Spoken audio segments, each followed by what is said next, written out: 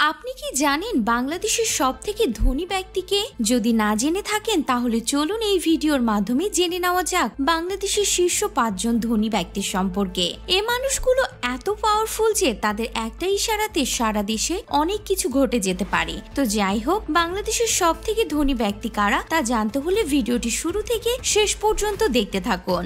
পাঁচ নম্বর অবস্থানে রয়েছে সাকিব আল হাসান। কারণ সাকিব আল হাসান শুধুমাত্র ক্রিকেট খেলে তার টাকাগুলো আয় করে না তার অনেক ধরনের বিজনেস এবং অনেক ইনভেস্টমেন্ট রয়েছে।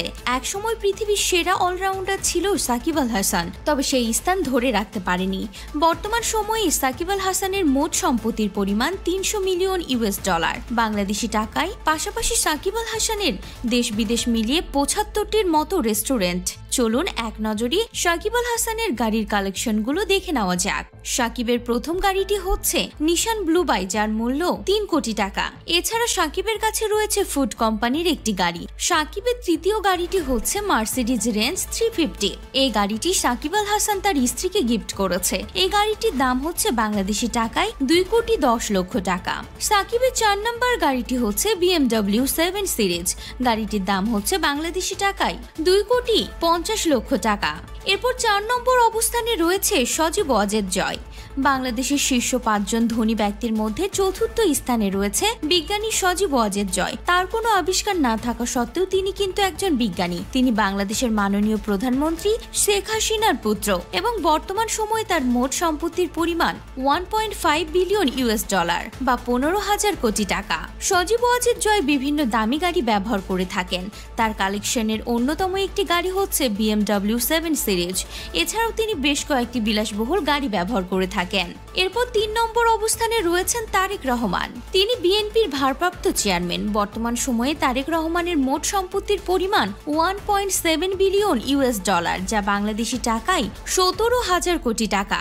এরপর দুই নম্বর অবস্থানে রয়েছেন সাইম সোভান আনভির। তিনি বর্তমানে বাংলাদেশের সব থেকে বড় ব্যবসা প্রতিষ্ঠান বসুন্ধরার গ্রুপের চেয়ারম্যান। বিভিন্ন ওয়েবসাইটে দেয়া তথ্য অনুযায়ী বর্তমানে মোট সম্পত্তির পরিমাণ পাঁচ বিলিয়ন ডলার। বাংলাদেশি টাকায় পঞ্চাশ হাজার কোটি টাকা। বলা হয়ে থাকে আনবিরের বাড়ি বাংলাদেশের সব থেকে লাক্সারিয়াস বাড়ি। এই বাড়িটি তৈরি করতে খরচ হয়েছে প্রায় এক হাজার কোটি টাকা। আনবিরের একটি প্রাইভেট জেট প্লেন আছে। সায়েম সুভান আনবির বাংলাদেশের অন্যতম বিখ্যাত একজন ব্যবসায়ী। তাই তাকে বিভিন্ন ধরনের সরকারি ও বেসরকারি ভাবে সুরক্ষা দেওয়া হয়ে থাকে। সায়েম শোভান আনবিরের কালেকশন এমন এমন সব গাড়ি রয়েছে যেগুলো দেখলে আপনি নিজের চোখেই বিশ্বাস করতে পারবেন না। তার ব্যবহার করা অন্যতম একটি গাড়ি হচ্ছে মার্সিডিস বেঞ্চ যেটি কিনা মাননীয় প্রধানমন্ত্রী ব্যবহার করে থাকেন। তাছাড়া এই গাড়িটি দুবাইয়ের রাজপুত্রও ব্যবহার করে। ভ্যাটযুক্ত করলে এই গাড়িটির মূল্য হবে দশ থেকে বারো কোটি। আনভিরের কালেকশনের সব থেকে দামি গাড়ি হচ্ছে British masterpiece Rolls Royce Ghost এই গাড়িটির বর্তমানে ভারতের দাম আট কোটি রুপি। বাংলাদেশে আনতে হলে আপনাকে তিন থেকে চার গুণ খরচ করতে হবে। এছাড়া বাংলাদেশের সব থেকে কম বয়সে বিলিয়নার হয়েছেন সায়েম শোভান আনভির। এক নম্বর অবস্থানে রয়েছেন সালমান এফ রহমান। বাংলাদেশের সব থেকে ধনী ব্যক্তি বলা হয় সালমান এফ রহমানকে তিনি বিশিষ্ট শিল্পপতি এবং একজন সংসদ সদস্য। এর পাশাপাশি তিনি বাংলাদেশ সরকারের ব্যবসায়ী বিষয়ক পরামর্শদাতা। সালমান এফ রহমান হচ্ছেন বেক্সিমকো কোম্পানির মালিক। বেক্সিমকো ফার্মা বিভিন্ন ওষুধ প্রস্তুত করার পাশাপাশি বিভিন্ন ভ্যাকসিন বাইরের দেশে ইম্পোর্ট করে থাকে। সালমান এফ রহমানের ব্যক্তিগত হেলিকপ্টার রয়েছে। তার এই হেলিকপ্টারের মূল্য প্রায় ত্রিশ কোটি। সালমান এফ রহমানের কাছে বিভিন্ন ধরনের লাক্সারিয়াস কারও রয়েছে।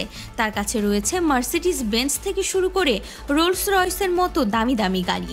সালমান এফ রহমানের সঠিক সম্পত্তির পরিমাণ কোনো জায়গায় ঠিকভাবে নেওয়া হয়নি। তবে বিভিন্ন ওয়েবসাইট বলছে সালমান এফ রহমানের বর্তমান সম্পত্তির পরিমাণ সহত্তর হাজার কোটি টাকা।